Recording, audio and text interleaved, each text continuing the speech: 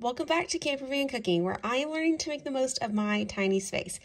I'm showing you today how I make our breakfast. In case you haven't guessed it by now, it is a smoothie bowl, and I only use frozen mixed berries and bananas and then water because I don't want any added sugar in our smoothie bowls, and most other liquids people use include added or fake sugar.